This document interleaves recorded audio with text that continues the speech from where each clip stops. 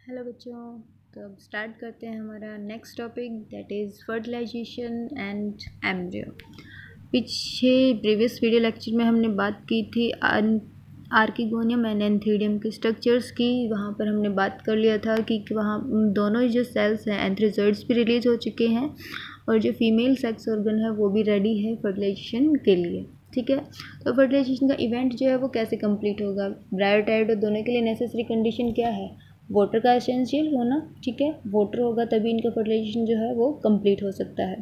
तो एंथ्रोजोइड्स रिलीज़ हो चुके थे, वो क्या करेंगे? वाटर की थिल फ़िल्म जो है उस पर स्विम करेंगे और कीमोटैक्टिकली अट्रैक्ट होंगे मेलिक एसिड जैसे कि हमने पीछे डिस्कस किया था कि जो आपकी कैनाल सेल्स थी venter canal cells neck canal cells disintegrate होती हैं और म्यूसिलेजनेस हो जाती है और रिलीज़ करती है मेलिक एसिड को।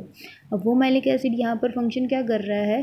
एंथ्रोजॉइड को अट्रैक्ट करने का। तो जैसे ही एंथ्रोजॉइड्स आएगा, वो बिल्कुल नेक सेल से जो वहाँ पर पैसेज क्रिएट हुआ था एंटर करेगा और वहाँ पर एग के साथ फर्टिलाइज कर जाता है। ठीक है? और यहीं पर हमारा जो फर्टिलाइजेशन का इवेंट है, वो कंप्लीट होता है। और जैसे ही फर्टिलाइजेशन होगा तो यहाँ पर क्या रिलीज़ होंगे हमारे? डिप्लॉयड जाइगोड ठीक है? अब डिप्लॉयड जाइगोड जैसे ही बना एन स्टेज से हमारी कौन सी स्टेज स्टार्ट हो गई? Two n stage two n stage that means sporophytic generation ठीक है? अब एम्ब्रियो बनेगा। सेल्स जो है फर्दर डिवाइड करेंगे। दो से चार चार से आठ। इस तरीके से फर्दर डिवीज़न होगा डिफ्रेंशिएशन होगा। और यहाँ पर क्या होगा? एम्ब्रियो डेवलप करेगा। एम्ब्रियो जब बनेगा तो एम्ब्रियो के बारे में हमें पता होना चाहिए। तो एम्ब्रियो जो है, कैसे डेवलपमेंट होगी यहाँ पर? जायगोट जो बना, वो प्रोथैलस के अंदर ही एम्बेडेड रहेगा। कब तक एम्बेडेड रहेगा? जब तक कि स्पोरोफाइट जो है वो इंडिपेंडेंट ना हो जाए। कि मतलब स्पोरोफाइटिक की जो सेल्स हैं, वो इतनी मेच्योर ना हो जाए कि वो अपना फ़ंक्शन जो है, फ़ूड है, सब कुछ अपना खुद परफॉर्म ना करने लग जाए, तब तक प्रोथैलस वहाँ पर प्रेजेंट होगा। जैसे ही आपका स्पोरोफाइट मेच्योर हो जाता है, इंडिपेंडेंट हो जाता है, जो प्रोथैलस है वो डिके हो जाता है। जैसे कि बच्चा जब होता है तो उस टाइम पे जब बेबी हुआ, उसकी पूरी देखभाल माँ का करना होता है, ठीक है? माँ उसकी हर तरीके से केयर करती है, हर उसको चीज़ देना, उसका हर तरीके से ख्याल रखना। फिर जैसे जैसे बच्चा ग्रो करने लगता है तो जो मदर है वो क्या करने लगती है? उसका थोड़ा सा ध्यान क्या कर लेती है कि, भाई ठीक है, अब बच्चा बड़ा हो गया है, अभी अपना काम खुद कर सकता है। तो वो थोड़े से उसको हट जाती है, ठीक है? तो सेम यहाँ पर ऐसे ही क्या होता है, जो गेमेटोफाइटिक है प्रोथैल गेमेटोफाइटिक प्रोथैलस है, वो स्पोरोफाइट जैसे ही इंडिपेंडेंट होगा, वहाँ से डिके कर जाएगा और ठीक है, ख़त्म हो जाता है। तो अब यहाँ पर एक कंडीशन और है कि बहुत सारे आर्कीगोनिया एक साथ फर्टिलाइज कर जाते हैं, एक ही प्रोथैलस के अंदर। आर्कीगोनिया है फीमेल सेक्स ऑर्गन है। तो ये क्या करना है, इनको फर्टिलाइज होना है। तो एक ही प्रोथैलस के अंदर बहुत सारे जो आर्कीगोनिया वो फर्टिलाइज करेंगे, लेकिन केवल एक ही जो है आपके मेच्योर एम्ब्रियो में डेवलप होगा, बाकी सब क्या हो जाएँगे? डिसइंटीग्रेट हो जाते हैं, ठीक है? जैसे आप देख पा रहे हैं यहाँ पर यंग प्रोथेलस कि जैसे ही क्या हुआ इंडिपेंडेंट आपका फर्टिलाइजेशन हो चुका है फर्टिलाइजेशन के बाद एम्ब्रियो एम्ब्रियो से वापस से हमारा क्या हो रहा है, अब यहाँ पर प्राइमरी रूट सेकेंडरी लीफ जो है, ये सब डेवलप होने लग हैं ठीक है? अब हम बात करते हैं लाइफ साइकिल की। आई थिंक आप लोगों को इतना तो समझ आ गया होगा कि कैसे जो है लाइफ साइकिल यहाँ पर कंप्लीट हो रही है। स्पोरोफाइटिक जनरेशन से स्टार्ट हो रही है।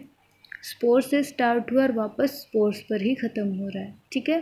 तो यहाँ पर जो हमारी सेल साइकिल है वो डोमिनेंट कौन सी होगी? स्पोरोफाइटिक और जो ये सेल साइकिल है वो हैप्लोडिप्लोंटिक टाइप है मतलब डिप्लॉयड स्टेज और हैप्लॉइड स्टेज दोनों ही यहाँ पर प्रेजेंट हैं।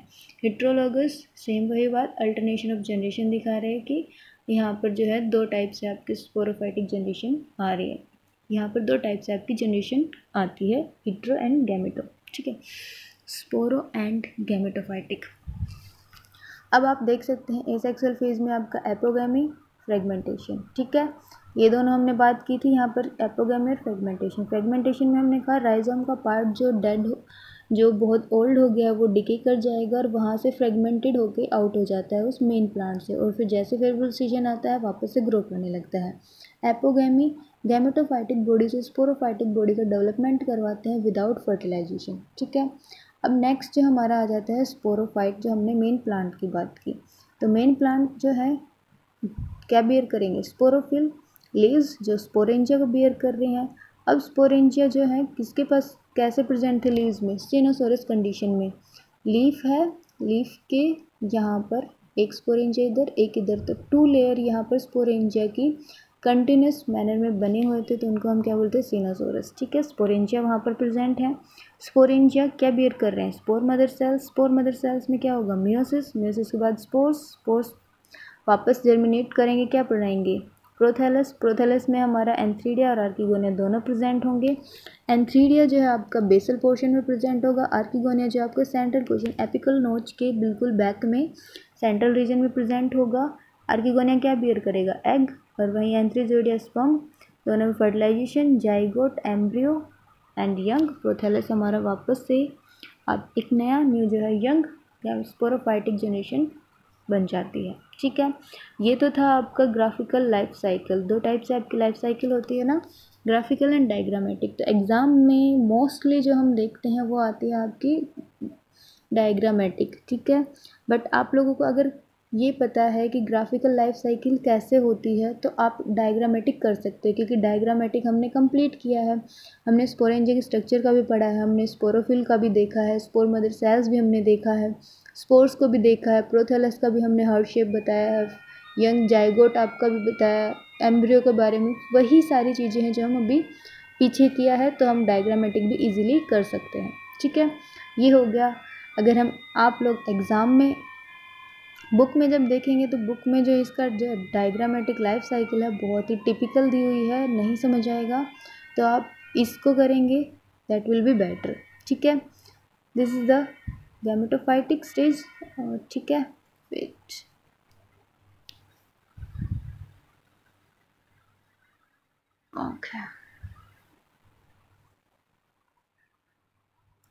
gametophytic gametophyte plant body है प्रोथैलस है, जो क्या बियर कर रहा है यंग स्पोरोफाइट को, ठीक है? ये मैच्योर होगा। मैच्योर होने के बाद ये क्या बियर करेगा? स्पोरोफिल को। स्पोरोफिल सिनोसोरस कंडीशन इनके पास प्रेजेंट है फाल्स इंड्यूशियम है। फिर उसके बाद ये आप देख रहे हो एक इसका जो है स्पोरोफिल की हमने स्ट्रक्चर को एनहेंस करके दिखाया। फॉल्स इंड्यूशियम प्रेजेंट है स्पोरेंजिया है स्पोर्स बियर कर रहे हैं। स्पोर्स के स्पोरेंजिया के अंदर हमारे क्या प्रेजेंट होंगे? Spore mother cells spore mother cells meiosis करेंगे टेट्राड बनाएँगे। टेट्राड से क्या रिलीज़ होगा आपका? स्पोर ठीक है? स्पोर जो है क्या करने लगेगा? जर्मिनेट करेगा और प्रोथेलस में डेवलप करेगा। प्रोथेलस में डेवलप जैसे ही हुआ आर्किगोनी एपिकल एपिकल नोच के जस्ट बैक साइड, बिल्कुल सेंट्रल क्वेश्चन के पास।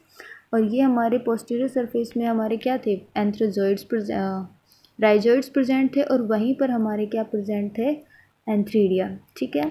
एंथ्रीडिया से आपका हमने थ्री सेल्स की बात की थी ring cells cap cells cap cells जो है वो कवर्ड करेंगी एंथ्रीजॉइड्स को। ये हो गया हमारे सेंट्रल नेक पोर्शन जो है वो हमारा कर्व्ड है towards the posterior end and projected है जबकि जो आपका बॉडी है स्टॉक है वो बॉडी जो है वेंटर रीजन जो है वो कहाँ है? एम्बेडेड है प्रोथेलस के अंदर, ठीक है? एंथ्रीजॉइड से हमारे क्या रिलीज़ करेंगे? सर, एंथ्रीडियम से रिलीज़ करेंगे, antheridia sperm egg cells, fertilization, zygote बनेगा, जाइगोट से एम्ब्रियो एम्ब्रियो से वापस हमारा जो है यंग स्पोरोफाइटिक जो स्टेज स्टार्ट हो जाती है, ठीक है? ये आपकी है डायग्रामेटिक लाइफ साइकिल बहुत ही इजी वे में बनाया गया है, क्योंकि अगर आप बुक में देखोगे तो बजल हो जाओगे कि कैसे स्ट्रक्चर क्या बनानी है। तो आई थिंक ये आपको हेल्पफुल रहेगी और कुछ डाउट रहता है तो आप मुझसे कंसल्ट कर सकते हैं। ठीक है? Okay bye